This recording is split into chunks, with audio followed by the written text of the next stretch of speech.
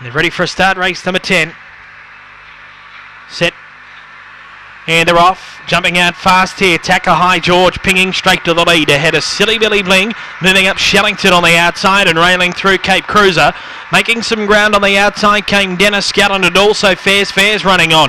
Further back in the field, What's Up Trumps and All In Run back at the end. Coming around the turn, Shellington leads. A length and a half on Tacker High George who comes to its outside. It's Shellington from Tacker High George. Shellington kept going. Shellington beat Tacker High George. Third Fairs Fair and fourth Cape Cruiser in front of What's Up Trumps.